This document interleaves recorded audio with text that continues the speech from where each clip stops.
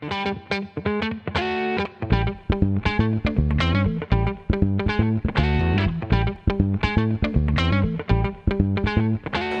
Benedetta Gargano, sono napoletana, sono una sceneggiatrice televisiva, faccio questo mestiere oramai da quasi 15 anni, lavoro per una nota soap opera partenopea e sono una food blogger. Ho aperto nel 2011 un food blog che si chiama La Gastronomica Volante Stanislavski. Eh, il mio blog è nato in un momento in cui il panorama era già saturo, per cui ehm, ho cercato di variare un po' la formula rispetto agli altri food blog, quindi a ogni ricetta è abbinata in maniera abbastanza pertinente eh, una recensione di un libro, una recensione di una serie tv, dato che sono una sceneggiatrice, o un piccolo racconto comico che a volte attinge anche alla vita coniugale. Nella vita reale faccio la sceneggiatrice, eh, che è una cosa abbastanza impegnativa perché lavorando per la lunga serialità i tempi sono molto serrati, per cui diciamo che la mia vita si divide, dalla,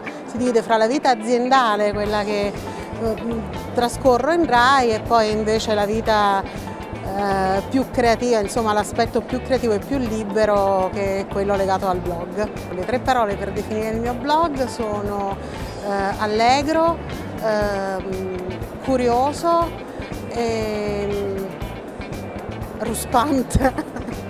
L'ultimo libro che ho letto è Il posto di mm, ognuno eh, di Maurizio De Giovanni che è un giallista napoletano. Devo dire che questa è stata una lettura tardiva perché con il classico preconcetto del, di, di, chi non ama leggere gli scrittori della sua stessa città non avevo mai letto eh, la serie del, del commissario Ricciardi.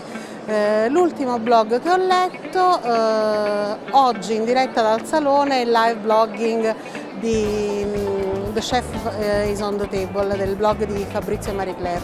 Un sogno da realizzare nel web è riuscire ad avere molti più lettori di quelli che ho, ma devo dire questo è un mio problema perché io sono una, una scrittrice incostante, dovrei incrementare il numero dei miei post e forse crescerebbe di molto anche il numero dei lettori che comunque è cospicuo. Eh, un sogno da realizzare nella vita,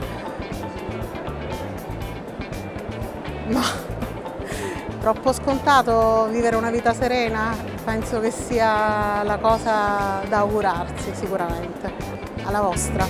Bevo anche per questo.